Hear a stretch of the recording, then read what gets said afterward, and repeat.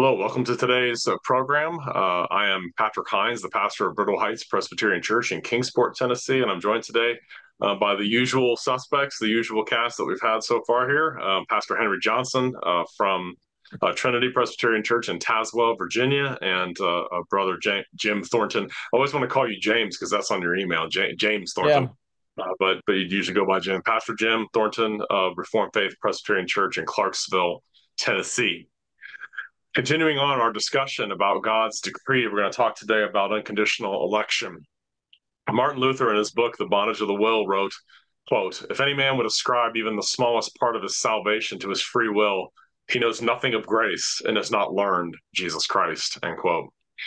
In our last program, we discussed God's comprehensive pre creation, immutable decree or plan that encompasses all that comes to pass for the purpose of God's own glory. In today's program, we move on to the next points in chapter three of the Westminster Confession of God's Eternal Decree, wherein we will discuss the heart of biblical grace, the blessed doctrine of God's unconditional election of his beloved church. In the debates that take place today in local churches and online, one will often hear people say, Oh, you're a Calvinist or Oh, you're an Arminian. But what do these words really mean? Are the issues that divided these two groups really that important, or is it just theologians splitting hairs? After the Reformation took hold in the Netherlands, a theologian named Jacob Arminius, who lived from 1559 to 1609, was facing allegations from the Reformed Church in that region. In response, Arminius delivered, or, delivered orally before the states at Holland at The Hague, which was the place of the Dutch government, his famous Declaration of Sentiments in that document, Arminius left no doubt what, what he believed regarding the biblical teaching on predestination and the salvation of sinners. Arminius said, quote, this decree to save or condemn certain persons has its foundation in divine foreknowledge, through which God has known from all eternity those individuals who, through the established means of his prevenient grace, would come to faith and believe, and through his subsequent sustaining grace, would persevere in the faith. Likewise, in divine foreknowledge, God knew those who would not believe and persevere. End quote. This position was a comprehensive departure from the teachings of all the Reformed confessions at that time, particularly the Belgic Confession and the Heidelberg Catechism.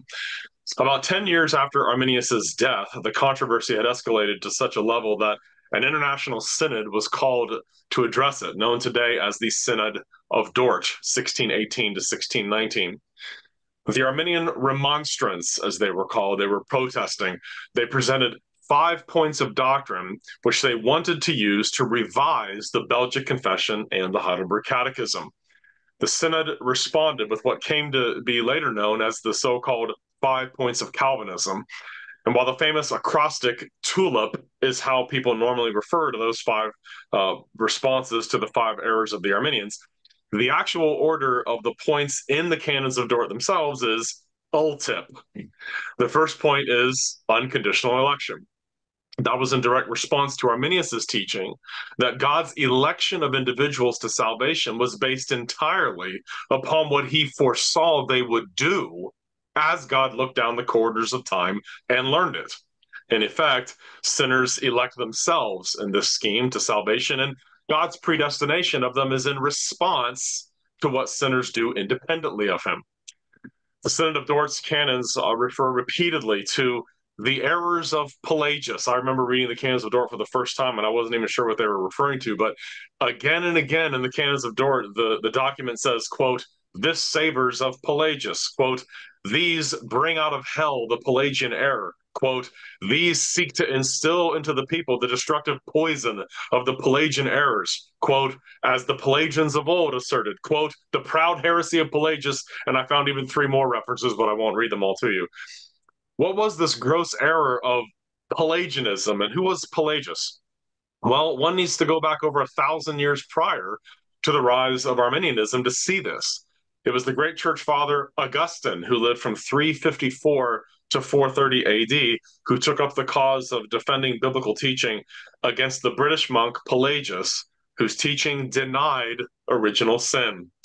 When one looks at Augustine's anti Pelagian writings from the time period, it is ne- nearly identical to the Arminian Calvinist debate of the 17th century, and also to the debate between Luther and Erasmus in the 16th century, where Erasmus, the Roman Catholic priest and humanist scholar, wrote his book on the freedom of the will, and Martin Luther wrote his volcanic blast of a response in The Bondage of the Will. What is original sin? What is grace? Why must grace be free and unconditional in order to be grace at all? Who saves who? What could be more important than these questions? Really, nothing. These are the issues we're going to discuss today. So, uh, Jim and Henry, thank you again for uh, uh, coming on. I really appreciate you guys and your your comments and wisdom. So, uh, Henry, I want to come to you first. How does the Calvinist Arminian debate mirror the Augustinian Pelagian controversy in the fourth and fifth centuries, as well as the debate between Rome and the Reformation and Luther and Erasmus? Well, all of those controversies basically involve who gets the glory when people are saved. That's the bottom line. Is it ultimately up to man to save himself, or does God get the glory when sinners are brought to salvation by the grace of God in uh, simple childlike faith in the Lord Jesus Christ? And that controversy um, is is really underneath uh, you mentioned the uh, problem of denying original sin. Uh, you mm-hmm. threw out uh, this term in that quote, prevenient grace. And so those are, are uh, concepts. And the bottom line is what does the Bible say? Um, it, does the Bible teach uh, that people are not so affected by the fall that they can um, they have some spark of of goodness within themselves uh, that um, if they act upon that then god in response to that looks ahead and says oh uh, i'll choose that one because they chose me and we'll just look at a couple of verses of scripture. First of all, Second Timothy chapter 1. Here, the Apostle Paul is um, writing to his young apprentice, a young pastor, a son in the faith, Timothy. And in verse uh, 8 of Second Timothy chapter 1, the Apostle Paul, uh, writing under the inspiration of the Holy Spirit, uh, said, Therefore, do not be ashamed of the testimony about our Lord, nor of me, his prisoner, but share in suffering for the gospel by the power of God, who saved us. And now he's describing this God who has given this gospel, who saved us and called us to a holy calling, not because of our works but because of his own purpose and grace, which he gave us in Christ Jesus before the ages began. And so hmm. this verse flies in the face of what Pelagius said, what Jacob or Arminius said, what his followers maintain, what the Church of Rome then and sadly to this day still teaches uh, and sadly, there are other denominations. Uh, Methodism uh, is an example of that. Uh, sadly, many Baptists have embraced this um, unbiblical view mm-hmm. of man, of the fall, and of who gets the glory when people are saved by faith in the Lord Jesus Christ. And this verse says, it wasn't on the basis of anything man did, is doing, or will do, but it is by the grace of God. And that grace was poured out upon undeserving sinners even yeah. before the foundation of the world, before the ages. So yeah. I think that's what's in common with all of these um, strains of basically this same unbiblical teaching uh, that we refer to today as Arminianism, but it had uh, it its expression there in uh, Augustine's day as he opposed the false teaching of this uh, British monk by the name of Pelagius. Yeah, yeah, very good. And uh, before you you came into the the program uh, here, Heather, before you came on onto the Zoom call, Jim and I were talking about uh, he he was sharing a, a B.B. Warfield quote. Um, and Warfield uh, described the Reformation um, as the ultimate victory of Augustine's doctrine of grace over his doctrine of the church. And it really does go back to that Augustinian Pelagian controversy, the issue of sin. I mean, the issue of, of the fall, original sin, what the fall, what what the consequences of the fall uh, uh, are, is going to determine how we understand grace. So, Jim, I want to come to you with that next question. We've we've dropped this phrase "original sin." I think there's a lot of confusion about what original sin is and how uh, Adam's sin affected the human race. So, what is original sin, and what did the fall of man do to us? Well, the uh, the first verse to deal with this is uh, in the uh, book of Genesis, where God warns them not to eat of the tree of the knowledge of good and evil, and He says that if they were to do so, they would die. And then Satan comes along and says, "You will not die," which is his modus operandi there in in Genesis three the serpent said to the woman, You surely will not die. For God knows that in the day that you eat from it, your eyes will be opened and you will be like God, knowing good and evil. And for him to tell them they would be like God, it was basically that they would replace God on the throne, declaring, according to their own fallen judgment, what is good and evil. So they had eaten of the fruit. And uh, the fall affected their minds, it darkened their minds.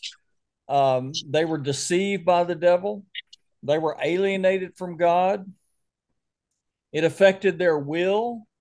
Uh, they no longer uh, wanted to obey God. And this is part of the original sin. This is part of spiritual death. There is a, a, failure to want to please God. And um, not only the will, but the emotions were fallen too. And so even today, we see people who are being led by emotions, and emotions to many people today is more important than reason or logic.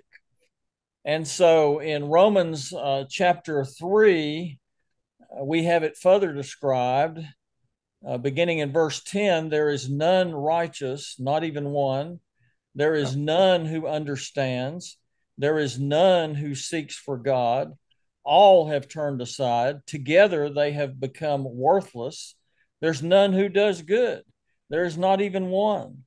Their throat is an open grave. With their tongues they keep deceiving. The poison of asp is under their lips, whose mouth is full of cursing and bitterness. Their feet are swift to shed blood. Destruction and misery are in their paths, and the path of peace they have not known. There is no fear of God before their eyes. Mm. So that sums it up right there in those terrible words, which are very offensive to people who think they're good. And see, that's part of the problem. That's part of the deception is that because of the fall, in our judgment, we we call good evil and evil good, and we uh, are very uh, prone to pass upon our own sin and think, oh, that's nothing. Everybody does it as if that was the standard instead of the law of God, which makes it quite clear. And and the last thing I'll say about original sin is that a stick of dynamite does not have to go off to be a stick of dynamite. In other words, we don't see people normally as bad as Hitler or Charles Manson, but yet the effects of the fall are there and they're not always manifesting themselves. So did the fall uh, is is the corruption that we inherit from Adam is is there isn't there just a little tiny part of us that wasn't affected by that? no, it's it's total total depravity. Uh, it's it's even uh, part of the result is that we tend to think that that we're pretty good that it wasn't a complete ruin. So mm-hmm. that's part of the deception. It, it, it's a total. That's why uh, it's called total depravity. Right. During the the Augustinian Pelagian controversy, the real the real issue that comes into the into the forefront there is what is the decisive factor in salvation, as Henry was pointing out. Uh, is it in the final analysis? It, does, does man play a, a decisive role in his salvation? And the the Reformed fathers there in the Netherlands, when they address the Arminian controversy, they they refer to the teachings of Arminius and to the Arminian remonstrance as Pelagian and Pelagius and Pelagianism eight times in the canons. And so I wanted to ask uh, Henry, why did they do that? Why, why did they see a direct parallel between what the Arminians were saying about this and Pelagianism? Why, why did they keep saying that? Well, I think the root of it is this denial of the condition of man because of the fall.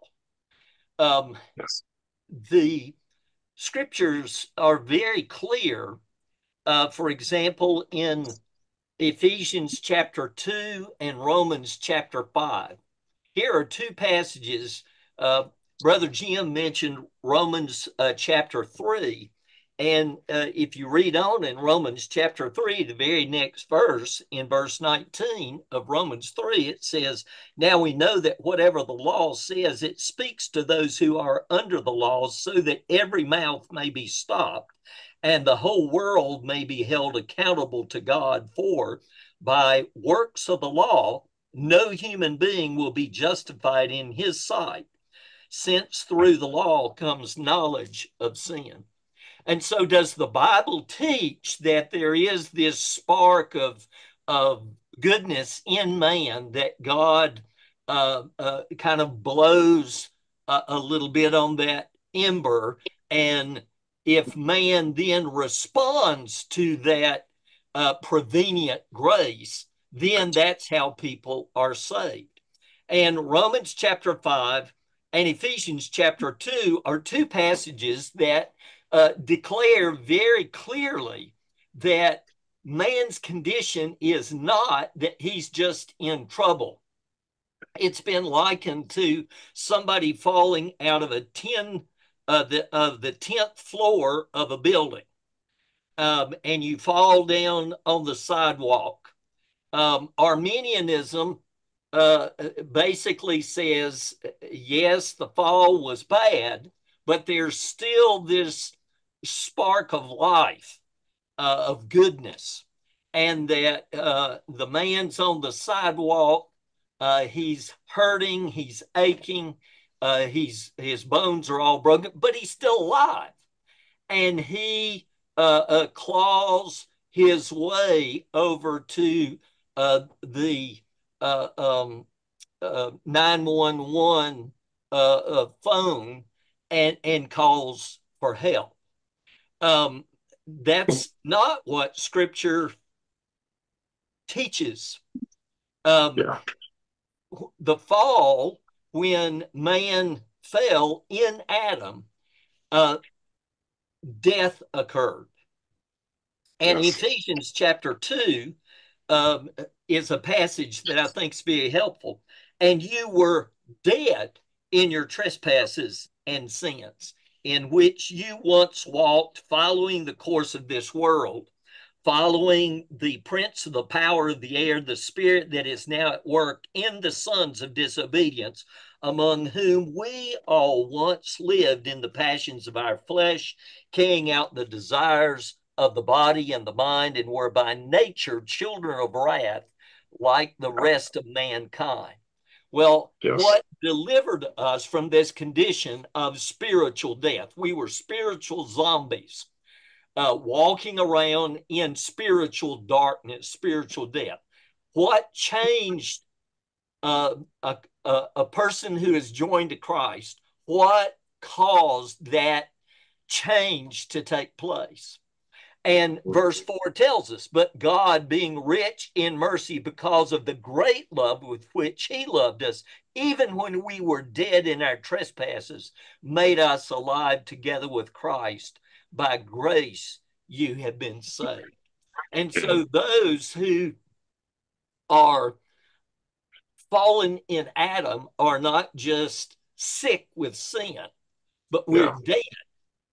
And the yeah. only way dead people can be alive is not that they take the first step toward making themselves alive and then God does the rest, but that yes. God is the one who, according to his plan, to save a particular people that he gave to his son.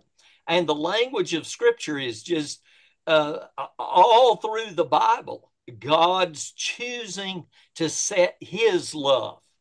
Uh, it doesn't say that God looks ahead and sees who will choose him, and that's who he chooses.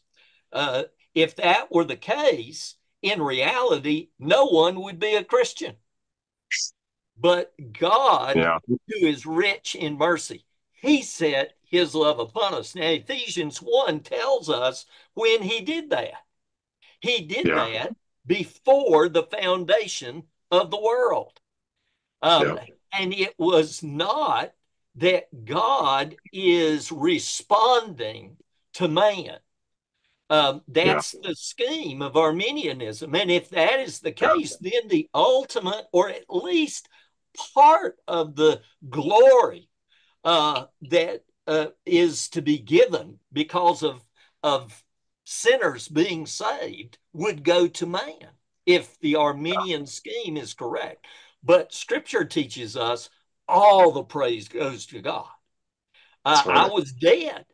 And why do I love Jesus now? It's because God touched my heart and made me alive, opened my blind eyes, took out my heart of stone and gave me a heart that beats and throbs for Jesus.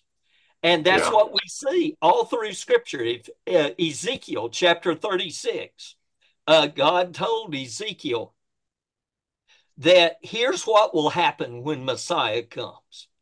I'm going to send my spirit and take out their heart of stone and give them a heart of flesh. And of course, the vision of the uh, valley of the dry bones. Uh, yeah. How can those bones be made alive? It's not that the bones start making themselves alive, it is that God called Ezekiel to speak his word to those bones and prayed for the Spirit to come and bless the preaching of the gospel. And that's what made those dead bones alive. And that's how sinners are made alive. That's why you love Jesus. That's why I love Jesus. It's all God's work. And it's according to the plan that He made before the foundation of the world now, I'm not going to read Romans 5, but in Romans 5, verses 12 and following, we see that through one man, sin entered and everybody died and everybody sinned through the one man, Adam. And had God not planned and executed the plan for the last Adam to come, nobody would be saved. And right. it is in the Lord Jesus Christ according to the plan of God, according to what God planned and purchased on the cross and now is applying by his spirit. And in John chapter 6, verse 37, the Lord Jesus says, All that the Father gives me shall come to me, and the one who comes to me I will in no wise cast out. Um, yeah. John chapter 10, Jesus talked about those unbelieving Pharisees. Now, I don't know who God has chosen. Jesus did because he's God in the flesh. But he mm-hmm. said to those Pharisees, You don't believe because you are not God's oh, sheep. Yeah. My sheep hear my voice and they follow me. And in John chapter 17, the Father gave a people to his son. And Jesus came to die for those particular people. And the Holy Spirit comes now and makes those particular people alive. Our job is to proclaim the gospel, calling all men everywhere to repent. And God is the one who saves dead, lost sinners, all for his praise. That's right. And so that when the the, the of Dort there, when they're responding to the the Arminians and they keep re- referring to it as Pelagianism, this is Pelagius. Um, it, it, does go back to really the Arminians were denying original sin. They they were really denying that God alone receives the glory, and they were denying the effects of the fall on man. Uh, as you already alluded to some passages, let's listen to a couple of these. Um, Jeremiah 13, 23, can an Ethiopian change his skin or the leopard his spots? Neither can you do good who are accustomed to do evil. Um, Jesus said in Matthew 7, 18, a bad tree cannot bear good fruit. It is not able to bear good fruit. Uh, Jesus said in John 3, verse 3 to Nicodemus there, unless a man is born from above, he is not able to see the kingdom of God. John 6, 44. No one is able to come to me unless the Father who sent me draws him. And many more passages. Romans 8, 7. The sinful mind does not submit to the law of God, nor is it able to do so. 1 Corinthians 2, 14. Uh, the man without the Spirit of God does not accept the things that come from the Spirit of God, for they are foolishness to him, and he cannot understand them because they're spiritually discerned. So, not able, not able, not able, not able. And the Arminians were saying, well, God does kind of this preemptory work of grace that gets you out of that disabled con- condition so you can be the decisive factor and they they as students of church history and of scripture saw this is a revival of pelagianism because they're saying the decisive factor is with man not god and that's a, a huge problem so, Brother Jim, let's go, go to the next uh, point there. The opening paragraph of the Synod of Dort uh, teaches an essential truth of biblical Christianity that's been lost in our day. The very opening paragraph of the Council uh, of at Dort, there, their response to the Arminians, the first thing they point out is God's right to condemn all people. Point number one, Article one of heading of number one as all men have sinned in Adam, lie under the curse, and are deserving of eternal death, God would have done no, no injustice by leaving them all to perish and delivering them over to condemnation on account of sin, according to the words of the apostle, that every mouth may be stopped and all the world may become guilty before God. And verse 23, for all have sinned and come short of the glory of God. Romans 6 23, for the wages of sin is death. So would you comment on that? Is it really would it really have violated nothing about fairness for everyone to go to hell? I would say uh, God is not obligated to save anybody. The only obligation is co- to condemn everybody because we've all sinned. And um, if we had a neighbor who was clearly guilty of something and deserved to be punished, and we had a local judge who refused to punish that person, we would say that that judge is unjust. Well, yeah. God, in his perfect justice, uh, is required uh, by his own nature, by his own character, he condemns sin. And so um, that's why the scripture says he is just and the justifier. The yeah. way that he yeah. forgives is by having his justice satisfied by mm-hmm. Jesus hanging between heaven and earth on that cross, nailed to that cross, paying the penalty for the sins of his people, and then declaring it is finished. Well, what was finished? The payment, the payment yeah. for the sin that uh, sinners could be forgiven and set free. Mm-hmm. And I would add to that um, that it says in Peter, uh, Second Peter chapter two, uh, verse mm-hmm. four.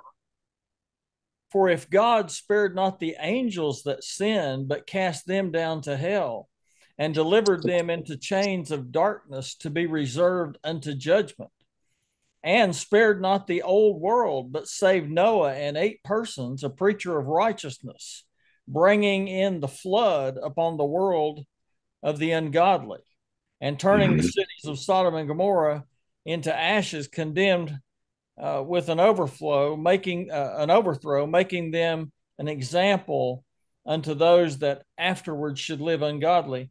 Um, I was talking to somebody the other day that lives uh, right up there in Kentucky. Uh, right here, I was talking to him in this region, and I asked them if they knew that there were seashells up on top of Black Mountain, the tallest mountain in Kentucky, right over there by Big Stone Gap, and they did not know it. And there's even seashells on uh, Mount Everest, the tallest mountain in the world, I believe. Well, there was a flood, and God yeah. destroyed all but Noah and his family who were justified by faith.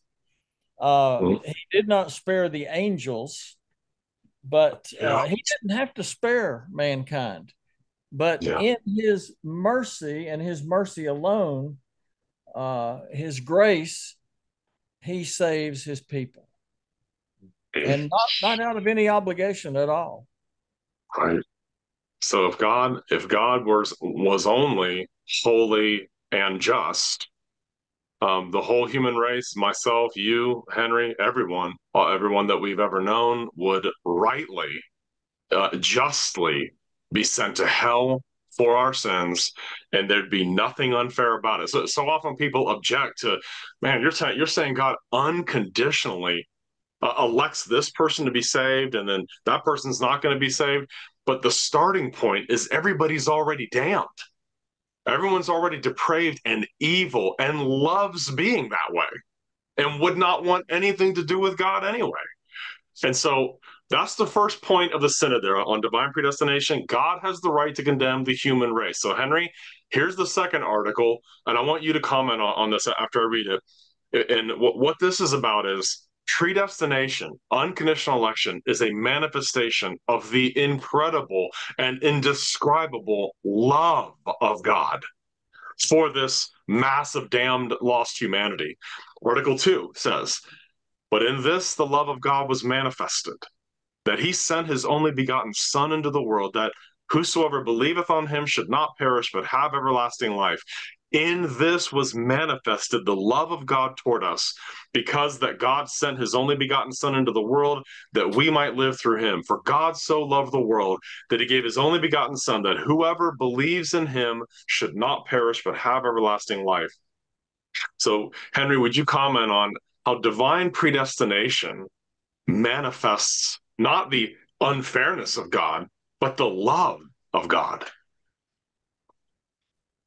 In the book of Acts, the Lord Jesus appeared to the apostle Paul. Uh, the apostle Paul had been preaching uh, in a, a, a, place called Corinth. Um, Corinth was a, a cesspool. Uh, the Greek world in that day had coined a new word um, if somebody became so um, morally corrupt, uh, debauched, uh, they were referred to as someone who had been Corinthicized. Uh, Corinth was just a, a moral cesspool. And the Lord sent his apostle uh, to proclaim the gospel, the good news.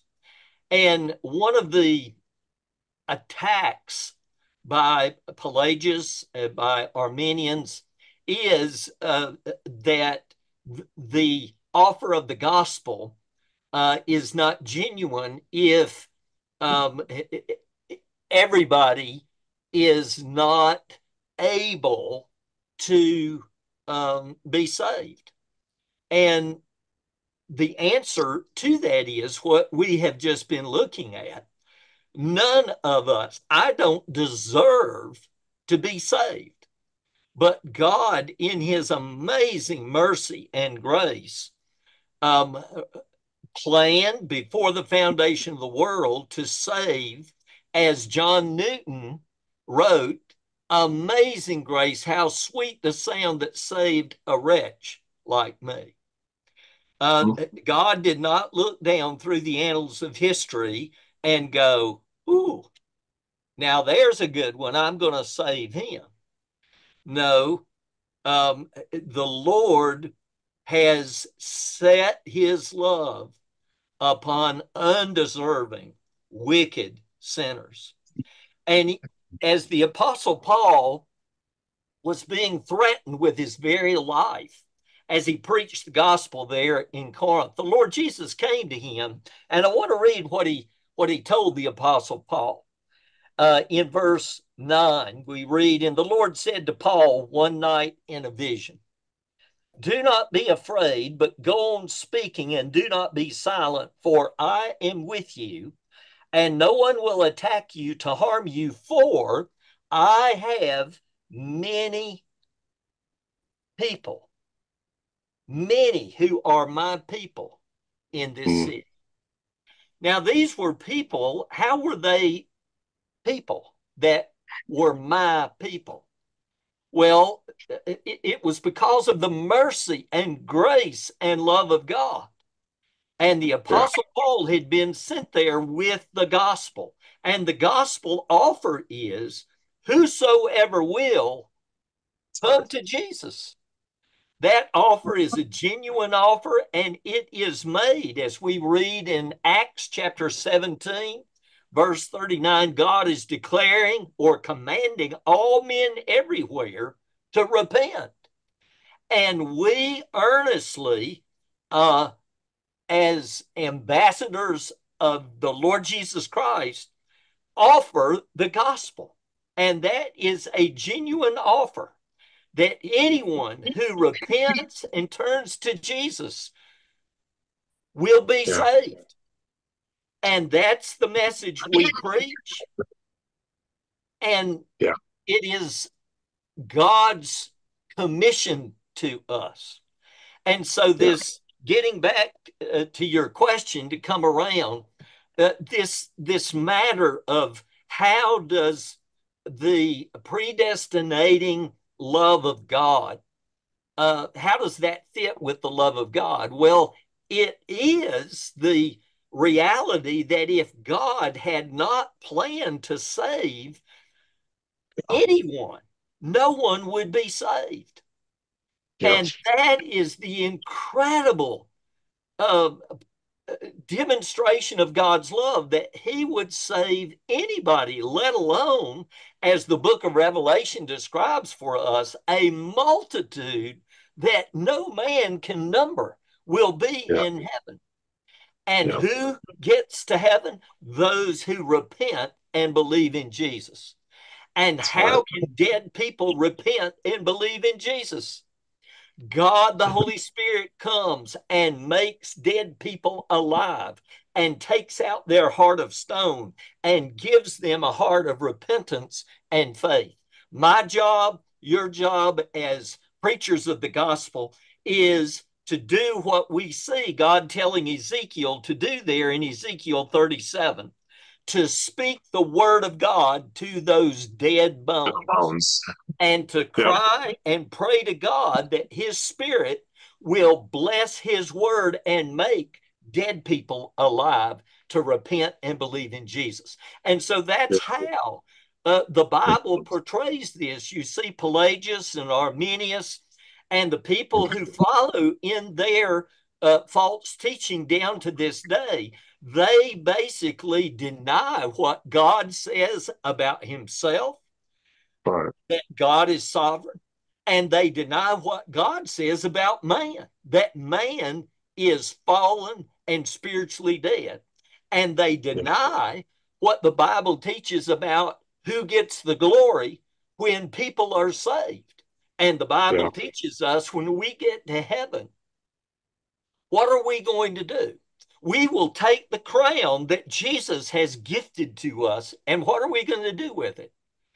We are going to throw it at the feet of Jesus as a symbol, as an expression. The only reason I'm here is all because of what you have done, what you planned, what you purchased, and what you applied to me and kept me.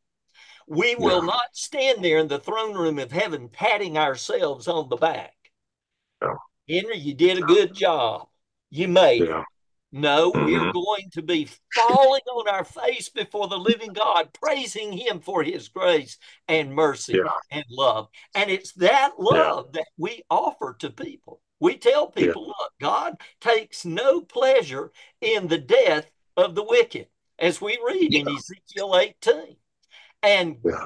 we offer people, why will you perish? Run to Jesus and be saved. And when people reject the, the gospel, it just shows how hard and full of hate and wickedness we all are apart from the grace of God. And I would still be denying Jesus had God not planned to redeem me, purchased salvation for me, and sovereignly applied it to me. And that's true yeah. for every true child of God. That's right. So when we get to heaven, we're going to be praising Jesus for having saved us, not for having made our salvation possible. Amen. Right? He actually does all the saving. Now, I want to come to Jim and talk about um, the preaching of the gospel. I want to read a Spurgeon quote uh, before I uh, read the, the question here. Spurgeon says, If God would have painted a yellow stripe on the backs of the elect, I would go around lifting shirts. But since he didn't, I must preach whosoever will, and when whatsoever believes, I know that he is one of the elect. Just as uh, Acts 13 48 says, as many as were appointed to eternal life believe. So, Jim, many people say, hey, if God's already chosen everyone he's going to save, then we don't need to do evangelism or anything, right? Because it's all been determined by God. And uh, Article 3 in the same heading, you know, we looked at Article 1, Article 2, and Article 3 under divine predestination and Synod of Dort says this, and I want your comments. Article 3 says, and that men may be brought to believe God mercifully sends the messengers of these most joyful tidings to whom he will and at what time he pleaseth, by whose ministry men are called to repentance and faith in Christ crucified. How then shall they call in on him in whom they have not believed? And how shall they believe in him of whom they have not heard? And how shall they hear without a preacher? And how shall they preach except they are sent? So, Jim, God's already chosen it. What's the point of evangelism? Well, it, it would be a lot safer if we knew who the elect uh, are. But, you know, Paul prayed to be delivered from evil men as he was out preaching in public. He said, For not all have faith. And there were riots. Uh, if you look at Ephesus, there were riots when he was preaching, and uh, the disciples will not even let him go to be with the people out of fear that they would kill him. And uh, yeah. but yet, uh, God gives us the grace to even risk our lives to preach the gospel and to enjoy it, uh, and even to consider it an honor if we were to lose our lives preaching the gospel. Now, why do we do it? Because He commanded it. He said, "Go into all the world and preach the gospel." It's called the Great Commission there in Matthew twenty-eight, and uh, not only that, but God uses means and in uh, Romans chapter 10, we read this. Um, the scripture says, Whoever believes upon him will not be put to shame. And I really like what Brother Henry was saying. You know, there is a universal offer of the gospel. Yep. Election is not really keeping people out, they're keeping them themselves out. They don't want to come, they love darkness rather than light. And we were the same way. We did too. And as Henry also said, the only reason that we've come to Christ is because he set us free. Uh, the word was preached to our dead bones, and we had no desire whatsoever until he set us free and gave it to us. But it goes on in Romans 10 to say, For there is no distinction between Jew and Greek, for the same Lord is Lord of all, abounding in riches for all who call upon him. For whoever calls upon the name of the Lord will be saved. How then will they call on him in whom they have not believed? And how will they believe in him whom they have not heard? And how will they hear without a preacher? And how will they preach unless they are sent? And so God gives us the privilege of being involved in bringing people to Jesus Christ. And, and, mm. isn't it kind of God, this wonderful work of salvation, that He would let us be involved in it? And so he sends he sends us out to declare the gospel to the unbelieving. It may be on the radio, it may be on YouTube, uh, it may be out in the open air preaching on the street, the sidewalk, the field. but uh, God sends His preachers, and and the people who send them are involved in this work, and uh, and it's just uh, the Scripture goes on here in Romans ten. How beautiful are the feet of those who proclaim the good news of good tidings. And so it is just a wonderful work that God has commanded and that uh, he said to his disciples, Follow me, and I will make you a fisher of men. And one of the Puritans wrote a book on evangelism called Man Fishing. And so uh, it's it's just uh, the greatest thing I've ever been involved in, and the yeah. most wonderful thing that I've been involved in is is evangelism, and I praise God for it. Yeah, one thing, as we uh, kind of try to wrap up here a little bit, one thing that the Arminians, um, past and present, have tried to say is look, y- you really can't be a student of the Bible and not have a doctrine of predestination and election. I mean, it's all over the place, as, as you guys have, have pointed out. And we haven't even really looked at some of the key, some, there's so many other passages John 6, John 10, John, John 17 has been alluded to, Ephesians 1, Romans 9, Romans 8, many places we can look. But um, the Arminians tried to say, okay, well, God, God doesn't elect individuals. He doesn't elect people. He elects a category. He elects to save those who believe, rather than electing. The way I've tried to teach this over the years is I've said God doesn't elect Christ. He doesn't elect a plan. He doesn't elect who save those who believe. He elects individuals by name from all eternity. And that came up at the Synod of Dort, and they rejected that specific error. So, Brother Henry, would you um, share with us why why do we believe that when we when the Bible speaks of election unto salvation, it's not speaking about the election of a category of he, he elects to save believers, but rather his election is of individual people by name. Well, the bottom line is that's what the Bible teaches. Uh, it. It's not that we have come up with some uh, theological um, deduction. This is is just the clear, blunt, plain teaching of Scripture.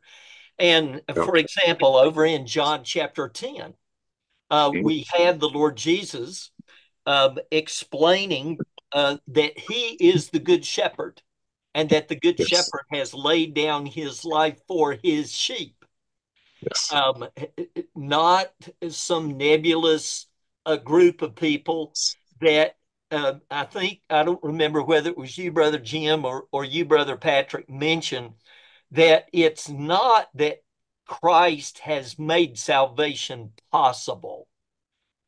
Uh, it, the teaching of Scripture is that Christ has secured eternal redemption for his people. And that's what we see scripture teaching uh, here in John chapter 10.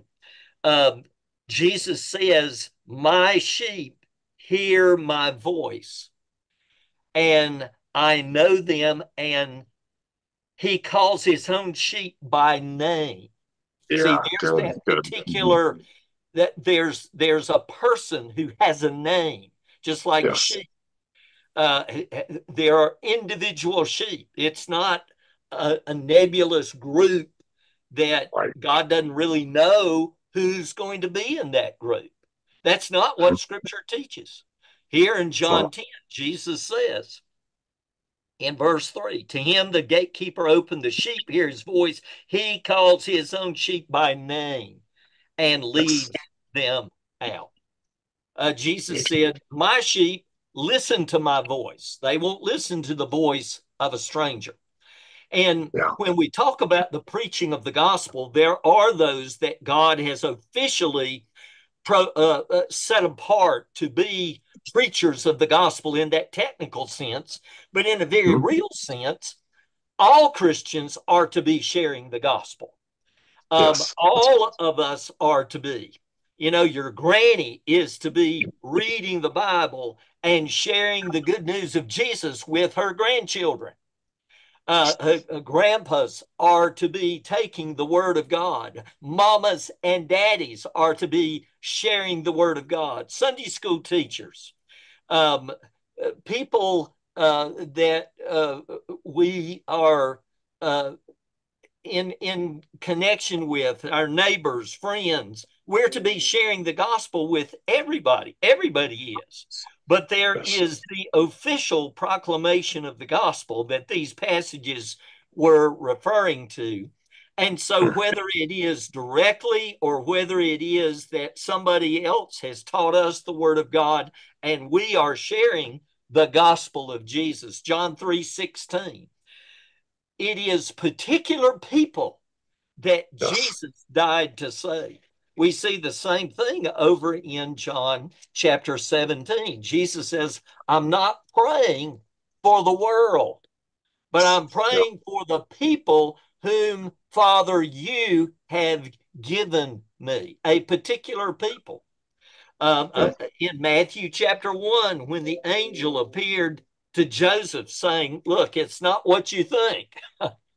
uh, your uh, bride uh, has not been unfaithful. She is carrying the Son of God uh, in, in fulfillment of the prophecies of the Old Testament in Isaiah chapter 7. But he says, He will save His people from their sins, a particular people. Mm-hmm. When the Apostle Paul uh, uh, is is writing in the epistles. Uh, he talks about to the elect, to those who are chosen. You mentioned Romans chapter nine. Um, here we see that God set apart Pharaoh, a particular person. He left him in his sin. He wasn't unjust to do so, but he yeah. raised him up and used him as a particular person as a trophy of God's wrath.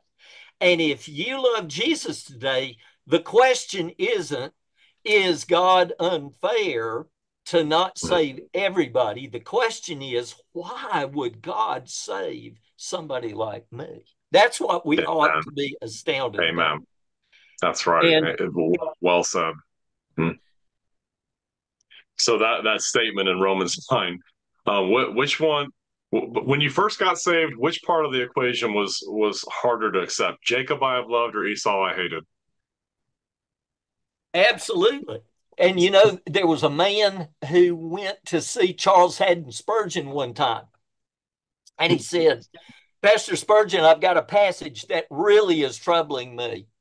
And Spurgeon hmm. said, Well, what passage is that? He said, Well, it's this passage that's quoted from Malachi over here in the book of Romans, chapter 9 Jacob I've loved, Esau I've hated. And Spurgeon said, You know, that's interesting because that passage really eats at me too. And he said, What part of the passage eats at you?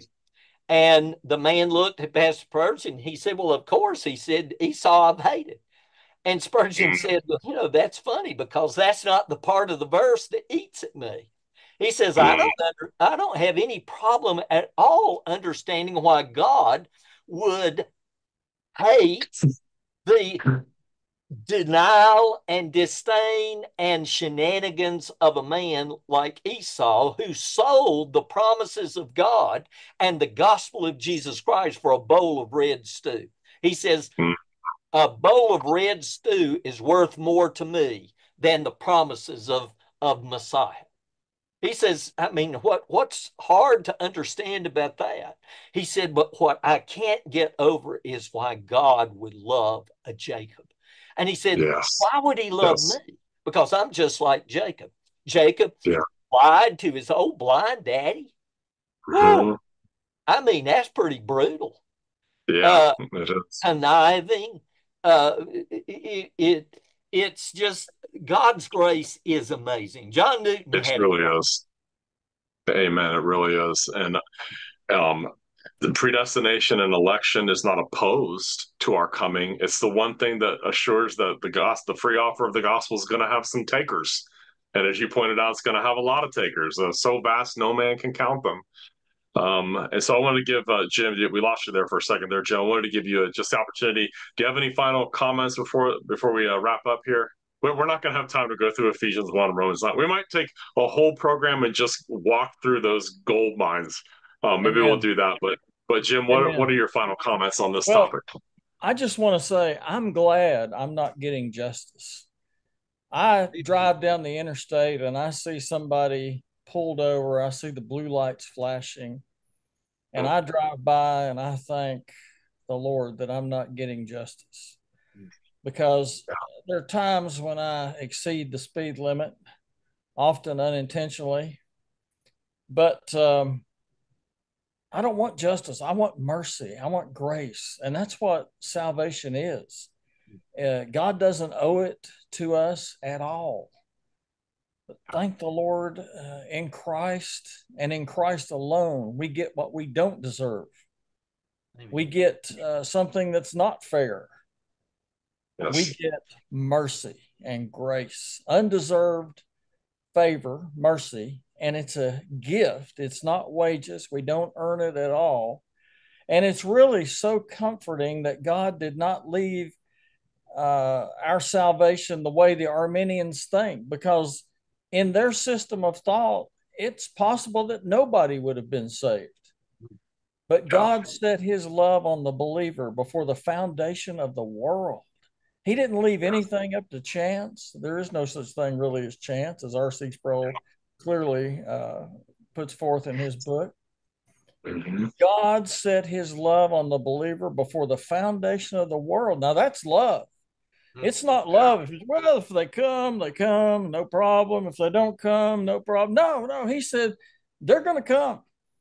So praise the yeah. Lord. It's been a great yeah, discussion. Praise God. Thank you all. Yeah, yeah, I appreciate you guys. And just just to wrap up, um, the fact is the justice that is due to us uh, was in fact laid on someone. It was laid on our Savior. And for all the sin, all the, the pride and envy and the, the lust and coveting and everything that we've done in thought, word, and deed was nailed to the cross of Christ. And people listening to this, so maybe they're not familiar with the issue of unconditional election and what the Arminian Calvinist debate or the Augustinian Pelagian controversy is about. Maybe those are new terms to them. But a lot of people will hear this discussion and think, well, how, how can I know if I'm one of God's elect? How can I know if I'm one of God's elect?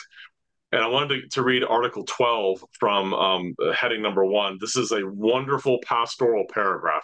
So if you're struggling with this, am I really one of God's elect? Listen to this. Learn, learn from these wise Christian forefathers of, of ours. They said this in Article 12 The elect in due time, though in various degrees and in different measures, attain the assurance of this their eternal and unchangeable election, not by inquisitively prying into the secret and deep things of God, as if any of us could do that, but by observing in themselves with a spiritual joy and holy pleasure the infallible fruits of election pointed out in the Word of God, such as true faith in Christ, filial fear of God, a godly sorrow for sin, a hunger and thirst for righteousness. So I always tell people, you want to know if you're one of God's elect? Look to Jesus Christ and nothing else for the whole of your salvation. Do you see spiritual poverty in yourself? Are you not happy with where you are in terms of your sanctification? That's a blessing from God. Blessed are the poor in spirit. Blessed are those who mourn. Blessed are those who hunger and thirst for righteousness. Are you resting on Christ's finished work? Only the elect of God can do that. And that's how we know. We contemplate our election by looking into the face of Christ. As John Calvin taught us, Christ is the mirror of our election. And only by looking to him can we contemplate it with safety. Well, brothers, you guys are are my my best friends in Royal Council. Very thankful for both of you and your comments. It's always so fun and edifying to do this. So uh, I look forward to it every week. Praise God. Me too. Thank you all. All right. Amen. All right. Press on. May God be with you this Sunday, this Lord's Day, as you preach God's word and with me too. You guys take care.